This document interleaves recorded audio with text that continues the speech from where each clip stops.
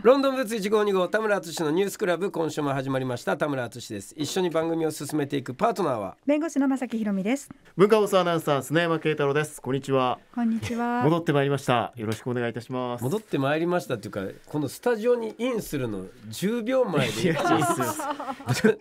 さっきまでそこにいたのに あれ？砂ちゃんいないじゃんっつったら、なんか水買いに行ってますねちょっとあのニュースのチェックがギリギリになっちゃいました。え？あずっとチェックしてたそニュースチェックして終わったらもう20秒前だけどこれ喉ガラガラになっちゃうなと思って。一瞬。よくギリギリですけど頼めばいいじゃんそのスタッフさんに。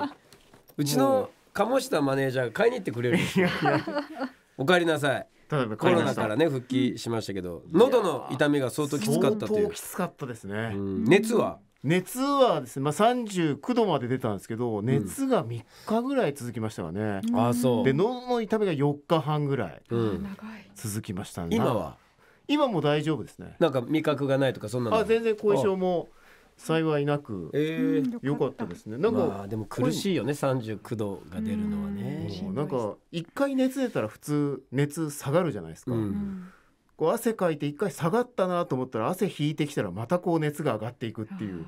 へえそれをぶり3返すんだ。日ぐらい繰り返してましたね。うんなかなか。あったあった俺も。ありました。去年。いや今年か。今年の2月だっけ俺。そうですね、うん。ちょうど僕北京行ってる時に。そうですね。はい。うん。そうだ。一人でした。ね そうですまさきさんまさきさんとペコパっていう。そうです。奇跡の回でした。そうだそうだ。うん。まあお帰りなさい。帰ってまいりましたうん。まあそんな中ですけど淳さんはポリッピーにハマってるんですか？そうそうなんですよ。ポリッピー知ってます？ポリッピポリッピー知ってます？ーおつまみのうん。電六さん。電六さんの、はい山形かな？うん。どっか。うん。東北の会社ですよね。イメージなんかオレンジのパッケージっていう感じですかね、私塩味が好きなんですよ。で電六のポリッピーのなんかこう小袋に入った要は12粒ぐらいが入った小分けのその塩味だけが欲しいんですよ。うん。他のなんかそのスパイスとか なんかチョコとかそういうのが一切いいらない。らなくてこの塩味だけの小分けが欲しいよどっか売ってないかなってツイートでつぶやいたんですよ。そしたらみんなが俺が知ってるその大きな袋に入ってるポリッピーの塩味うん。の情報をバンバン送ってくれるんだけどうん。日本語難しいなと思って、まあ、それも小分けといえば小分けだし。でも俺の欲しい小分けはこの12粒ぐらいの夜ちょっと小腹減ったなって言った時にこの12粒ぐらいを食べたいんですよ。その大きいの買っちゃうともう60粒ぐらい入ってるかまあそうですよね、うん。ちょっとじゃ済まないですよね。ら止まらなくなっちゃうからうん。ポリッピーが怖いのは止まらないんですよ。美味しくて。ポリッピー止まらないんだ。食べたことない？いや僕ないかもしんない。このいやもうタイプのパッケージはすごい見てますよ、これめちゃめちゃ美味しいそのなんていうのこ塩味か。衣がついてるんですよ、うん。うん。食べたことないですかまさきさん？ある気はするんですけど結構前。えそれぐらいのレベルなの？俺ポリッピーって。俺のオレンジ何？サラダ味ですか？オレンジって何味ですか？知らない。私はもう塩味しか味わったことがないので。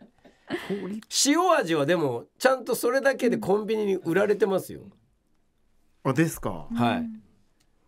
でこのこ小分けのやつ12粒入りの小分けのポリッピー塩味の大袋が欲しいんですよ、はいはいああこれが何個も入ってるってなるほどなるほど。それだと夜な夜なちょっと軽くつまむかな。芋焼酎のソーダ割りと一緒にみたいなできるんですけどうううんあれ開けちゃうともう全部いっちゃうから俺。わかります60粒は行きたくないのにうん。ポリッピーがもうすごいからすごい美味しいから60粒いっちゃうのよ俺小皿に出すじゃダメですか？それじゃ止まらないですあまあそこにあるなってなっちゃうから。折っちゃいますよね。確かにね。ゴムで止めたくらいじゃねう俺の欲望が止まらないんですよ。確かに。確かに。ちょっと大きい袋しか売ってないですね。大きい袋の個別包装12袋セットとかですもんねそうなんだよ。うん。でその情報を「えここに売ってますよ売ってますよ」ってみんな送ってくれるのよツイッターで。うん違うのよって何回も言ったからツイッター見ながら知ってんのよ。それは知ってんのよってだけどもういちいちね言い返すのもなんかせっかく送ってくれてる情報提供者の人は悪気がないから、これもう電力さんに出してもらうしかないですよね。いやでもそこまでするのはちょっと申し訳ないよ電力さんに。でもこういうニーズがあるってことじゃないですか？俺だけなんじゃないかなと思ってんですそこの塩味が好きなの。えーえそんなこといや定番ポテチでも何でも塩は絶対いりますよ。確かに。でも僕スパイスばっかり食べてるか あそら、うん、僕はあのスパイス味は食べたことありますね。塩味記憶にないな。う俺スパイスがいけないから辛いの苦手だから,、ね。だから。そのいろんなポリッピーの味の12粒ぐらいの小分けのなんていうのあのバラエティセットみたいなのはあるんですよそれも知ってんのよ私はだだからこれを購入してるんうん。であって、この塩味オンリーのが欲しいんだよな。無理だろうな。どっか売ってないかな。ねでもここまで探しとかだとね結構バラエティ豊かというか大きい袋もあれば、このちっちゃい袋とかも。あるよね。ね。うんそうそうそうその感じでちょっっと電力さんにお願いするしかないんじゃない？電力さんぐらい大きい会社がもうそこリサーチしてないわけないよね。うん淳さんそれでやると売れないんですよバラエティのあの袋だから売れるんですよってもうデータは出てそうですよ。もうこんなの私もう一消費者のただのわがままですから。そうかなどうかな。でも今日のラジオのリスナーでポリッピーの塩味の12粒の小分けが欲しいっていう声がものすごくこううねりを上げたらうん。わかんないよね。電力さんが動くよね。そうですね、ハッシュタグ電力ポリッピー塩味。小分け ちょっと長いな。長いな。長いな。もうこの部分を聞いてもらうしかないですよあとは電力さんにね、でもこれだけだと俺だけの思いだからうん。そんななんか一視視聴者がなんか言うとるでぐらいじゃそんな。いやでも確かにねこのちょっと大きいですよね。みんなでパーティーとして食べるにはいいですけど一人で夜食べるには確かに今のサイズの小分けはちょっと多いですよ多いんねです。これは食べ俺が過ぎちゃう。48歳だからなのか20歳ぐらいだとあの60粒ぐらいのポリッピーはいけちゃうのかな？うん。だから出たんだろうなあのバラエティセットが。いろんなので味を変えてくださいみたいなね。いやこんなポリッピーの話すると思わなかった。ねポリッピーを知らない人もいるからね、リスナーの中に、ピントは来てないかもしれないですけど。ピンときてない人もいるでしょうけど これを機にちょっとそんなにポうリッピーね。まいって言うんだったらちょっと買ってみるかっていうね、んうん。確かに。買ってみて、あこれ確かに12粒あったら嬉しいなっていう声がね、そうね。うん。あ 55g ってのが何粒入ってるのかわからない。そう 55g のやつがあのね。要はコンビニにお、うんうん。置いてるやつうんなんですよ、あのおつまみのね、はい。うん。あの縦長のやつですよね、うんそうそう。今もすっごい 55g のこの小分けの情報を送ってきてくれてるんですよ、うん。ツイッターに。だからそれじゃないの。よ あれ何グラムなの？12粒ぐらいのやつは。もういいわ。もう電力さんに直接電話するわ。伝わらない。日本語がもうこれ以上噛み砕けないぐらい噛み砕いたから、小分け。小分けの小袋、もうなんて言えばだから10粒入りの小分けの袋でこれで通じますよね。10粒だから。うん。まあね。55g じゃない。のコメダの豆ぐらいの袋わからないかな。ありますよあね米田コーヒーの、そうにコーヒーに豆ついてくるんですけど、はい。それにちっちゃい袋の豆。それ名古屋エリアだけでしょ？違う違う今全国展開されてる。米田？そう関東にもあるじゃないですか。米田コーヒー？そう。いや関東の米田コーヒー俺あっても入らないですね。入らない。嘘。いやいや他にコーヒー屋さんあるから。いや愛知に行った時はやっぱ愛知に行ったら米田コーヒーだねっつって行くけど。でも東海エリアには伝わった少なくとも。そんな感じだな東海エリアラジオ届けてましたっけ？東海エリアはちょっとかなんかでネットはあラジコでね。聞いていていただければあの縦にちょうどつ5袋ぐらいつながってるあのスナックのあのサイズですよね。そうですね。そう、ね、そうそう。あ、まあ、ちょっと大きいけどねあれだと。大きいんだ。あれでもあれでしょ？あのー、えっ、とおっとっととか。のか小袋が札幌一5番連チャンでとかのそうそうそうそう。あれだとちょっと大きい。でもあれでも嬉しい、うん。あれがあれば。確かに。あれは15粒ぐらい入れてくるから、それぐらいの小分けね。そうそう。それぐらいの小分けが欲しいんです電六さん。ということでそろそろ参りましょう。田村淳のニュースクラブ本日もスタートです。改めましてロンドンブーツ1号2号田村淳です。弁護士の正木ひろみです。文化放送アナウンサー電砂山六豆のこと考えてたでしょ今。だって電六豆のこと見てたもん今。今ちょっと。ぼーっと電録前で見てましたね今。失礼いたしました。はい。食べたくなっちゃってんじゃん口が。ちょっと食べたいです。ちょっとあの電録前買ってきてよ。ごめんなさい。ちょっとじゃあのまさきさんがポリッ欲しいピーの塩味をね、うんポリッピーの塩味。ではすなちゃん本日のメニュー紹介お願いします。はい。この後1週間のニュースを一気にチェックする今週の気になるニュース。今日は神奈川新聞報道部デスクの田崎元井さんとお送りしていきます。1時40分頃からゲストコーナー今週のすごい人今日はドキュメンタリー映画監督の伊予木部幸男さんをお迎えします。2016年富山市議による政務活動費の不正請求が相次いで発覚し8ヶ月で14人が辞職する辞職ドミノが起こりました。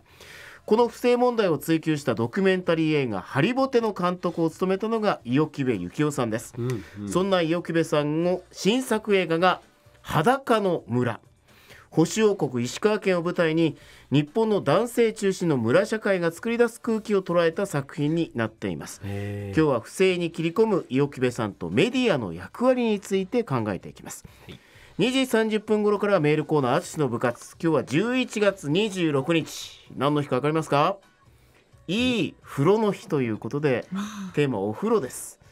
思い出のお風呂。お風呂に入る時のこだわりなどお風呂に関するエピソードをお待ちしています。日本人好きだよねこの語呂合わせの なんとかの日って。全部ありますね。ね。うん。いい風呂。はい俺俺大っ嫌いなのこの なんとかの日って決められんの。俺にとって毎日いい風呂の日だよって思っちゃうから。なんいい風呂の日って思っちゃまたうけど11月ですかね、まうんあ。ちょうど気持ちい全部いいいになるよね。いい。うん。うんいいあ風呂のりますか？なんかこだわってます？いやこだわりないどころか風呂大嫌いだったんですよ私ずっと。あら。え大人になっても？そう子供が生まれてからやっぱ入れなきゃいけないのうん。にやっと毎日入るようになりましたけど、あのえー？その前は基本的に家から出ないならもう入らなくていいベッドから動きたくないっていう人間だったので。ー、意外。すげえぐうたら人間じゃないですか。すっごいぐうたらだったのでお風呂って本当に入らなくて逆に出張で大分に毎月行かせていただいてる時に、朝行ってお風呂そうそうそう、うん。で別府とか大分でお風呂入って夕方からお仕事するって贅沢なことをしてやっとお風呂がちょっと好きにはなったんですけど家へえでは全然入んなかったです。ごめんなさい。申し訳ない、私はお風呂絶対お湯に浸かる派なんで。う、うん。んあ夏でも？夏でも。あそうなんですね。温度低くして。うん、で、えー、と肩から肩のあたりからお湯が出てくるお風呂にしたんですよ。お風呂が好きなので。うん、これが冬めちゃめちゃいいんですよね。そうなんだ。気持ちよさそう。そうここから滝みたいに後ろから出てくる、旅館とかの大きいお風呂そうなってますけどね。そうなの？いやあお湯出てきます？ようん。ああはいはいはい。ああんないいもんじゃないけどでもその肩口からうん。こうわーっとお湯が出て、うん肩までしっかり温まるっていう、へえそんなのがあるんだ。はい、それでもちょっと娘が大きくなってくるとお風呂タイムが全然楽しめないんですよ。なんでですか？いやはしゃぐから。確かに。足使い俺は照明ももうダウンライトにして薄暗くして入りたいんですけどやっぱ子供たちはその薄暗いの怖がるから、まあねこの薄暗い雰囲気がわからないんだなまだ。6歳って。いや六歳で六歳でちょっと暗くしたやつは怖いですよそれはそう。うんうん。でも俺ゆっくり入りたいんだけどやっぱもう娘たちのおもちゃで溢れ返ってるからさっさと成長してくれよと思ってます まあでも長くなるんじゃないですか。娘さんも成長したら今度は娘さんが長くなって早く出てくれないかなみたいな。うん。あとはい一緒に入ってくれなくなるからね。ねそもそもね。あそうだそうだ。もうな娘と一緒に入るこのタイミングを味わわないとね。そう。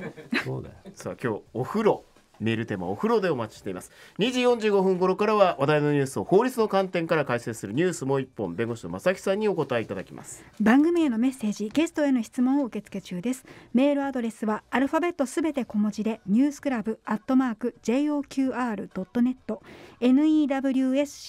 newsclub アットマーク JOQR.net ファックス番号は0354031151ツイッターのハッシュタグはカタカナでニュースクラブです。あなたからのご意見お待ちしております。ではこの後神奈川新聞報道部デスクの田崎元井さん登場です。東京浜松町文化放送のスタジオからお送りしております。田村敦のニュースクラブ。ここからは今週の気になるニュース。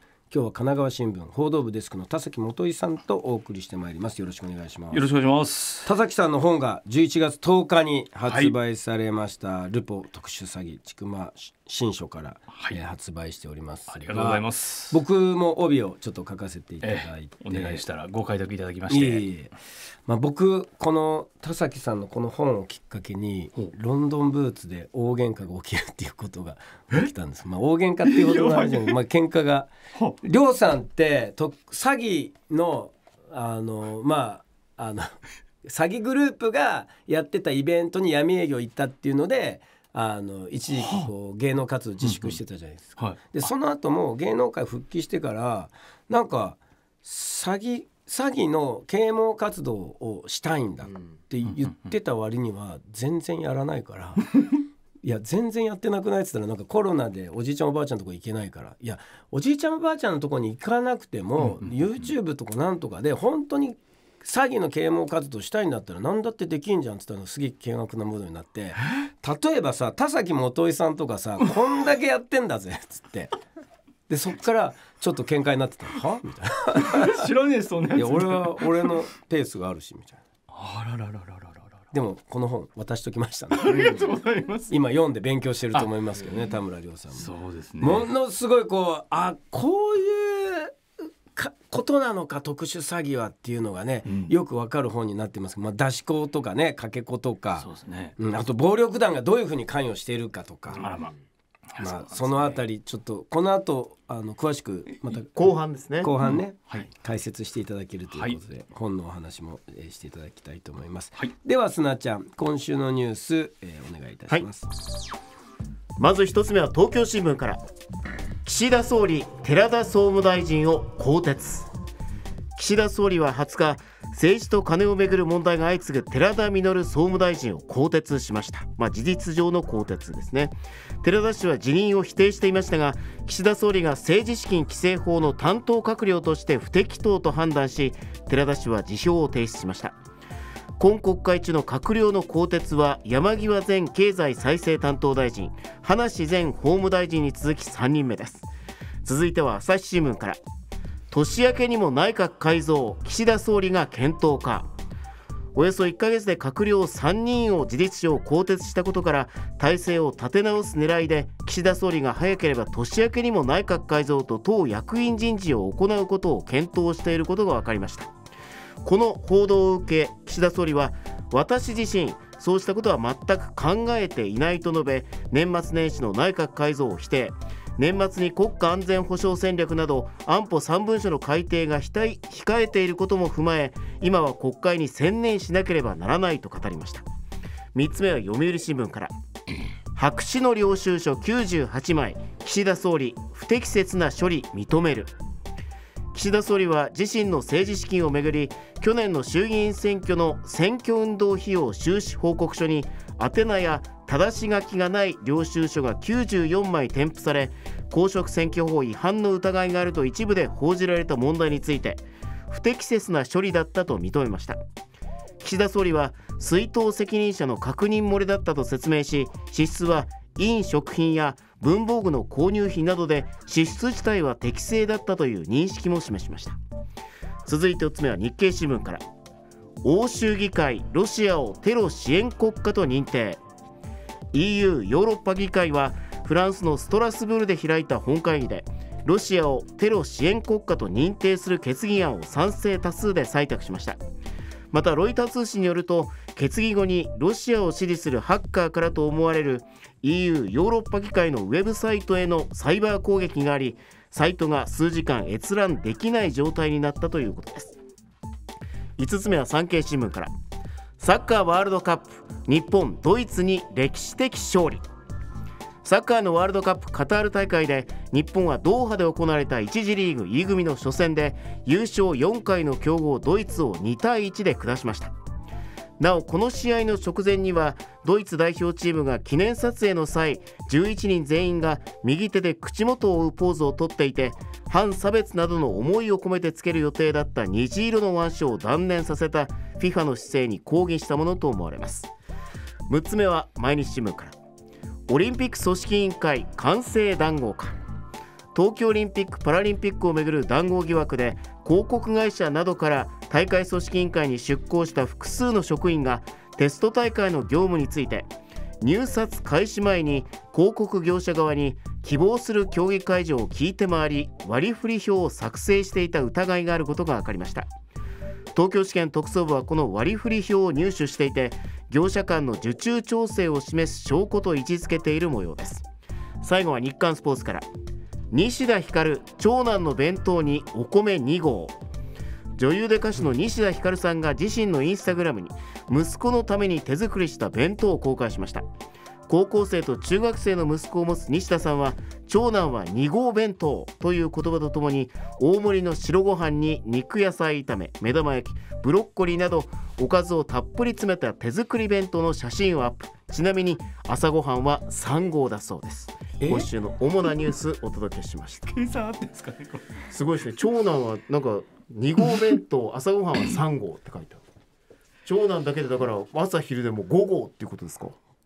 一個じゃ炊けなくないですか？家庭用の。大体5.5個ぐらいですよね。ねえ。マックス、ううん。人分のお弁当も作れないですそうですね。一人分一人二台が朝二台3個体食べ制ちゃうんだから。二台体制ですかね。二回炊く。まあそれかあの業務用のやつ持ってるからうん。保温のやつボンって。ドーンってでっかいやつかもしれない。西田ひかるさんのニュース。あん名前が出るたんびにあれ誕生日のニュースかなって毎回思っちゃうんですよね。昔も西田ひかるさんの誕生日ってもうセットでニュースになってたんで。なんで西田ひかるさんの誕生日のニュースだけ毎年やるんだろうって思ってたんですよ、今お弁当のニュースなんですね。違いました。さあ田崎さんはい。気になるニュース どれでしょう？あの冒頭からまあ3つぐらいが、まあ、あの政権のですね、えーお金と、うん。えーあと、まあ、宗教とお金の関係はい、の話でニュースが相次いでいるということですよね。うん。でえっとまあこれ今日のあの今日の長官のニュースではい秋葉復興大臣が、うん。えー教団側に支出があったんじゃないかと旧,、えー旧統一教会の問題でですね。でプラスその政治、えー資金収支報告書の記載についても、まあ、ちょっとよくわからないことがいろいろあって、うん。えー不可解な点がいくつもあるよっていう話が、えー出てきてしまったということで、えーまあ、4人目みたいな話も出てきてると。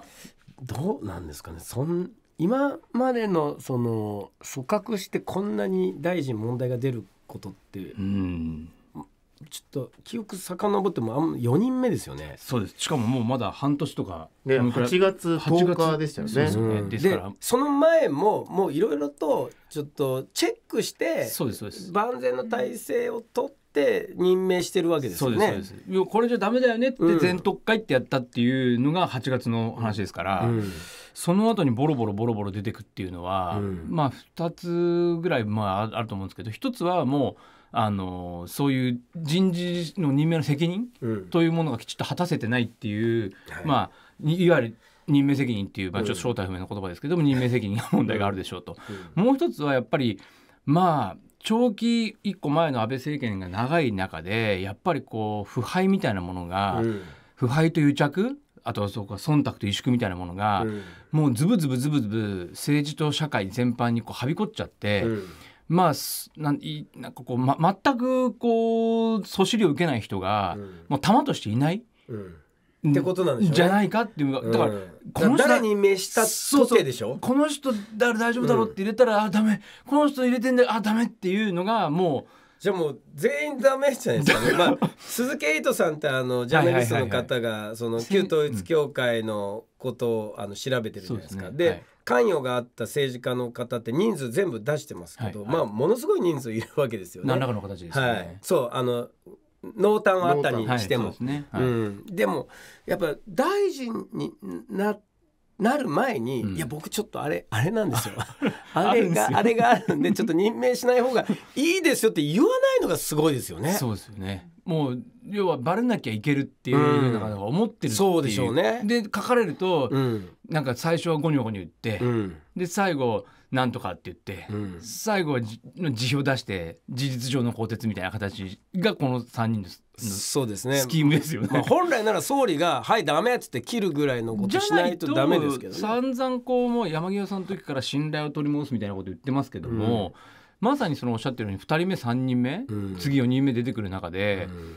あの信頼を取り戻すっていうふうに岸田さんが言うのであれば、うん。自らやっぱ切らないとそうですね。説明が成り立たないというか、まあ、それで言うとご自身がその領収書ね白紙で出してるっていうのがあるから、まあ、なかなか強くも「あんたもじゃないか」って 大臣に言われたらう返す言葉もないでしょうからね。いやだからこれも出てきちゃって、うん。一昨日かすぐらいですけど。どうなっていくんですか？このなん今のい政府やは。もうなんかどうなっていくのかっていうのはちょっとよくわからないですけど、うん。なんか見ててやっぱ思うのがなんか三国志とかうん。水滸伝とかみたいな昔の中国の漫画とかの要は国家がこう崩壊する直前の腐敗と癒着の、確かに。なんかそういう絵あるじゃないですか。すね。ちょっとデブった人がお酒でって言いながらうん。悪いことしてる贈収賄みたいなのがえ描かれてるじゃないですか、はい。それはもう何何千年前の話なのか分かんないけど、うん。多分ずっと国家と権力というものがそのようにして腐敗し、うん。倒されてまあ消滅というかね、うん。してきたんじゃないかなっていうのをまさに見てる感じがしますよね。なるほどね。でもこれまだ俺腐敗の入り口なんじゃないかなとも思って、うんまだ耐えられるじゃないですか言っても。ですね。で強い野党がいないから、うん多分ずっと与党じゃないですかそうですね。だからまあ政権自体は人が変わってなんか与党としては自民党はいるし公明党もそこに付随してるし、はいだけどその腐敗は進んでいっててね。だけどその腐敗を正すことがもう自自らはできないぐらいの組織になっているので、はい。まあ、僕たちはそれに気づいててもなんか崩れていくのをただ見守るしかできないだって強い与党え野党がいないと。代わりにやってよもう自民党さん今こんな感じだからともならないじゃっていうないですか。国民の声の受け皿がないんですよね。すよね。立憲民主も最近グダグダになっちゃってなんかうん。誰が何、えーみたいなこと起きるじゃないですか。パワハラセクハラみたいなまたハラとかね。そうですね。あと何やさんでまがなんか。む昔の人投入されてね。えーみたいな。正木さんどうですか？このあたり。全く同じでも結局。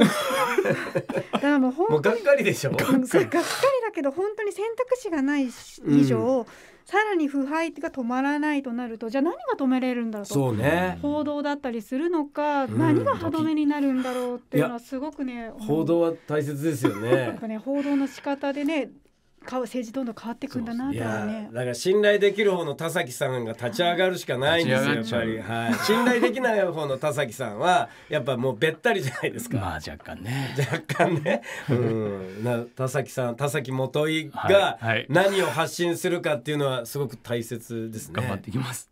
もう一つのところもあのまあ腐敗の話ですよね、はい。まさにこのオリンピック組織委員会団完成談合かっていうところでまああの安倍さんがあの銃撃された後からですね、一気にこのあのオリンピックの汚職が出てきてですね、まあなんかツイッターでオリンピックの「お」がですね汚い字になってるっていうオリンピックみたいな。ね。汚れた、よ汚れたばっかでううまいこと言ったなって話でもあるんですけど、もう額が半端ないし、うん。もう本当に海が飛び散るかのように続々と出てくる。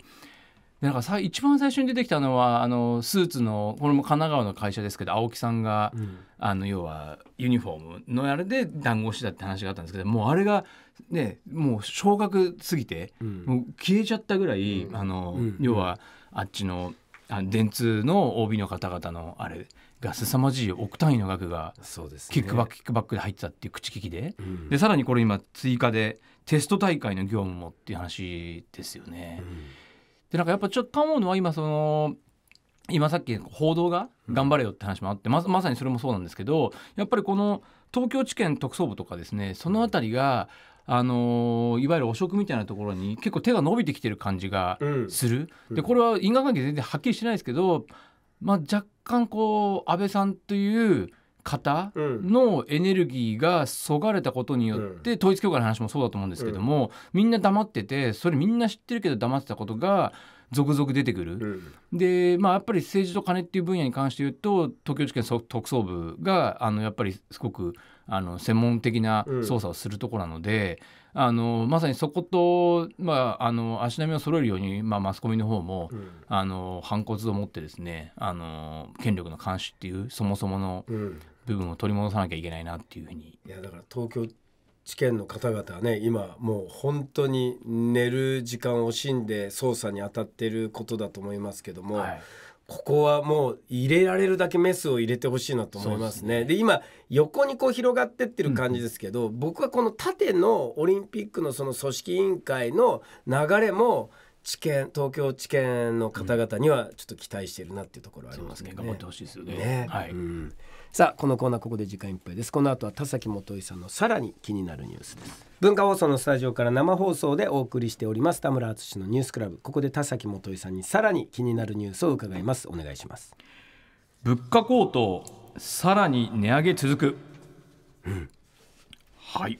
値上げ続きそうですか？ええあのーもう、まあ、8月9月ぐらいからずっと、まあまあじあのーウクライナの話があってから、うん。まあ、今年年始から入ってから2月以降にダダダダっていろいろですねエネルギー費が上がってきて、はい。あのなってるわけですけどさらにここに来て、まあ、円安が一気に進む中で、まあ、あの乱高下してるんですけどもあの非常に円 円円安の相場が、うん。あの基調ラインになってしまっているということで結局あの、まあ、食料費含めて、うん。えー食食料品含めてえー輸入に依存している率が極めて高いので、うん。えー物価がどんどんどんどん上がってきていると。で直近のですねこれ11月25日昨日ですかね、昨日出た東京23区の今月の消費者物価指数がですね、えー、3.6%上昇と。うんいうことですね、えー、と前年同月比で、うでそうするとこれがですね、えー、40年7か月ぶりの高い水準への上がり上が上がり幅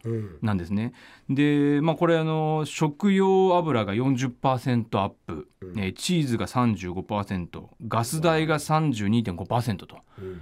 いう感じでですね、まあ、軒並み、まあ、電気代は26%ですよね。もう 2, 2, 2割3割うん。えものによっては4割上がっちゃってるということでしかもこれまあみ品目見ると分かるように、まあ、私たちも生活にもうい生きてる限り必要ですね、さっきのお風呂の話じゃないけども、ガス代みんなでガス使いますけど、あのうちの実家ももう初めて3万円超えたとかねガス代が。だもうそれはそうですよね。3割上がっちゃうってことは今まで2万数千円で住んでたのがもう3万円超えてくるって話ですから。まあもうじゃあちょっとあのいお湯の入れ替えやめようかとかね、うん。シャワーやめてもう全部あの湯船で水でやろうかとかっていう,、本当にギリギリのところにあのなってるしあとはその飲食業の方々も食用油なんていうのはもう何にでも使えますから、非常に厳しい経営になってくる。でこの間私実際取材して聞いたのがですね子ども食堂うん。が、あの川崎にあってですね。立ち行かなくなると。立ち行かなくなっちゃうんですよ。えで要はそこまあそこすごいんですけど1食600円なんですよ。うん。であの朝昼晩出してて、うん。まあ、朝は高齢の方がフラッと来てうどんとか食べさせてあげてみたいなことやってるんだけどももうあの最初はたまに牛肉も出てお魚も出て豚肉も出てたんだけどもうここのとこ鶏肉しか出せませんと。うん。でその鶏肉も20%ぐらい上がっちゃってるとうん。言ってるんでもうこれ、まあ、その人はもうあのーある有名なレストランでずっと働いてた人がリタイアした後に何かできることないかって始めたんですけど、もうその貯金をもう切り崩しながら。やってるんですよね。でもうただ値上げするんだったら、うん。もうやめた方がいいと。うん。では安くで子供たちに出したいよ、うん。で要はあの働くお父さんお母さんが迎えに来て、うん。まあ、学童みたいなところでご飯が食べれるようにしたいみたいなこと言ってたんですけど、うん。結局上がっちゃうともうやめざるを得なくなってきちゃったよねみたいなこと言ってて。うん。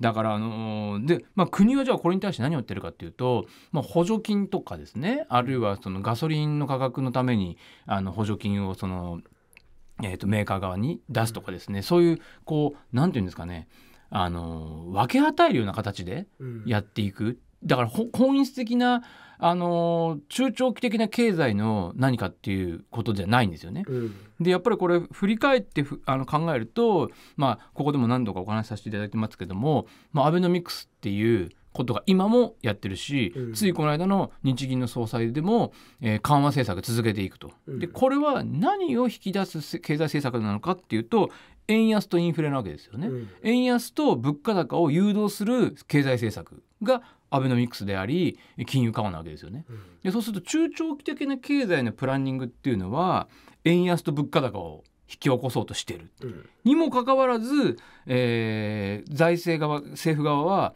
えードル売り円買いみたいなですね円か、えーあの為替介入を何十年ぶりにですね2回も3回もうん。過去最大の額をですね何兆円で額をドーンってやったりしてですね為替相場にものすごい介入していってるわけですよ。でそうするとあの要はまあバーってアクセルを踏みながらブレーキをバンバンバンバン何回もあのベタ踏み。しまくっていると。うんいうことなんでこんなことやってたら、まあ、車ぶっ壊れるよねっていうのが普通に分かること、なのでこのブレーキを弱めたりですね。あるいはあのちょっと減速する方向であのブレーキを踏むとかですね、そうそういうふうにしていろいろ臨機応変にやっていかなきゃいけないはずなんですけどもそれができない、うん。これできない理由はおそらく自分たちの失敗を認めることになるからなるほど。できないとかですね、うん。あるいはそれをやっちゃうと今日銀が持っている国債のあ残高が、あのーマイナスになってしまうとかですね、うん。あのそういったこうやってきてしまったことのツケを誰が払うの？みたいな状態が続いちゃってて政策を変更できないっていうへことに陥っちゃってるわけですよね。ーであのまああのちょっと強引に結びつけますとですねはい。こういう物価高っていうのって今も言ったようにですね、私たちの本当にこうあのまあ、貧しければ貧しいほどその割を食う、うん。つまり今あの食用油チーズ代が2割3割上がってますよってなりますけれどもたくさんお金のある人は、うん。あの2割3割食費が上がってもまあ別に吸収できますよね、うん。ところがもう1食500円ですよ。いあのあの1日に使える食費はもう1,000円になんとか抑えなきゃいけませんよっていう人にとってのうん。2割3割増っていうのはもうい1日1食しか食べられないとかね、うん。そういう話になってくるしもうカップラーメンでそれちょっと高いよねって思う確かにね。形になるじゃないですか、うん。そうするとやっぱりもう明日食うに困るっていう人が今以上に増えちゃう。もちろん当然、まあ、もあのいおられるわけですけども、うん。その人たちが、まあ、生活保護とかいろんなあの方策があるわけですけどもそういうとこの財政も逼迫してくるしうん。でそうするとですねやっぱり若年層は SNS でうん。手軽に稼げるとかですねうん。闇バイトとかグレーバイトとかっていうのを検索しがちうん。なんですね。でそれがまさにあの今回の本で紹介していただいた、まあ、特殊詐欺のうん。まさに入り口うん。で泥沼のように吸い込まれて、うん。えー最後は搾取されて、うん。えー凶悪犯にまでうん。強盗致傷事件とかですね緊縛強盗犯とかになっちゃうんですね。ならされてしまう。本人のそのい意思っていうよりかは貧しさがゆえに生きるためにやってたら犯罪に手染めてってでその時に気づいた時にはうん。もう脅されちゃって、うん。お前の顔と身分証明書全部晒すぞとかですね、あの家族ぶっ殺すぞとかですね、そういう形で追い込まれてって、えー緊縛強盗犯にさせられてしまうとかですね、うん。いうことまで起きてるっていうことなのでいややはりね貧困とかそういうものに結対してびつくんですもうもね。のすごい連鎖していってる。ううん。もうちょっと本質的なこうあのー国民の生活を守るような、うん。えー政策でありあるいは中長期的な経済の成長とかですね、うん。あのやっぱり消費が弱いんですよね日本うん。の弱点っていうのは、この消費をきちっと喚起していく、まあ消費したくなるようなニュースがないから控えちゃいますよね。で上がっていっちゃうとなったら、ね。うんなんか貯金しといた方がいいのかなと思いますけども思っちゃいますよね、でも本当はみんなでお金使って経済回してっていうのがいいんですけどでもそこがね正木さんなかなか難しいですよね今の日本。なかなかねそれをやってしまうとその先生きていけるのかっていうところにつながっちゃうので、うんやっぱりねその先のところまで見てじゃないとねなかなかねなのではいそういうところまでやっぱりあの情報をやっぱ出してってほしいですよね。うんさあということで田崎元井さんと一緒に、えー文化放送からお送りしております。さあお時間となりました。改めて田崎さんの本の紹介をですね、はい。ちょっとすなちゃんお願いします。はい、えー、淳さんがまあ帯をつけていますね、帯には淳さんの顔も出てますが田崎元井さんが書かれた本ルポ特殊詐欺千曲新書から発売中です、はい、まあ、改めて田崎さんこうこういう本だっていうことをねちょっとリスナーの方に伝えてほしいなと思いますが、まああのパッと目についた時にはあの最初に、まあ、殺人未遂事件を起こした男がいてですね、でそれがまあ元彼女の人をまあ頭の横をなんかでかいナイフで突き刺しちゃうっていう事件があったんですね。でそれは普通に事件のものとして出てきてるんですけど、うん。これをまあふと傍聴しに行ったらですね実は特殊詐欺に手を染めていていうん。1年半年ぐらい前から。すで追い詰められて追い詰められて追い詰められて、もうかなり視野狭窄に陥って特殊詐欺の仕事を紹介したやつを殺して俺も死ぬっていうところまで追い詰められて、うん。その紹介した男の家に行ったら元彼女が囲われてて、うん。それに激高してうん。わけわかんなくなって殺人未遂事件を起こしたっていうのがはい。最初の私のこの特殊詐欺ちょっとおかしくないかこれと。うん。単純にいわゆる報道されてるあのー高齢者が「俺俺」って言われて騙されちゃって何百万かもも取られましたっていうだけじゃないんですよね。だけじゃないなんかお恐ろしい背景があるんじゃないのみたいなことを人をぶっ壊してってんですよね。そうなんですよ。で社会もぶっ壊れてってでまあ累計がもう5,000億円を超えるあの被害額になってるということでですね、まあ、細かく犯人の視点で書いたっていうところが、あの新しい視点ですのでぜひぜひ皆さんあの皆さんあの幅広い勉強しとくとなるほど今詐欺ってこうなってんのかってなって、まあ、自分自身を守る意味でもねそうですねごく役に立つ本なのでぜひ皆さんお買い求めいただきたいなと思います。ということで田崎元恵さんでしたありがとうございました。ありがとうございました。